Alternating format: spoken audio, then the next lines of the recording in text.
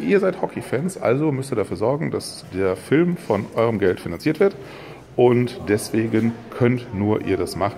Deswegen gebt was, unterstützt die Macher. Ich habe die kennengelernt, die sind wirklich mit dem Herzen dabei. Und ähm, ich würde mir wirklich wünschen, dass das ein erfolgreicher Film wird. Ich würde mir den auch angucken, obwohl ich selber jetzt nicht so ein riesen Hockey-Fan bin, aber das ist auch egal, weil ihr müsst Hockey-Fans sein und ihr müsst diesen Film machen. Und jeder, der denkt, das ist ein geiler Sport, der sollte 10, 20, 30 oder 100 Euro geben, was auch immer in der Brieftasche drin ist. Also jetzt los, unterstützen, Geld geben, euren Film machen.